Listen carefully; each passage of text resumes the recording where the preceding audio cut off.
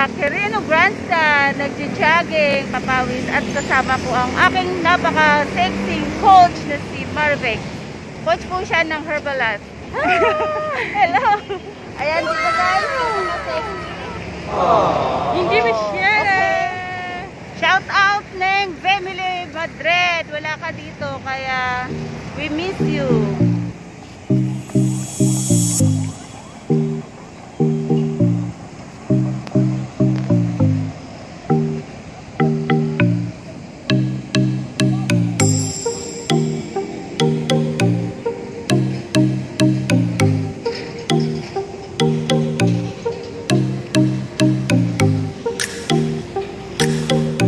Paikot lang kami guys. Lalakarin lang namin yung buong grandstand.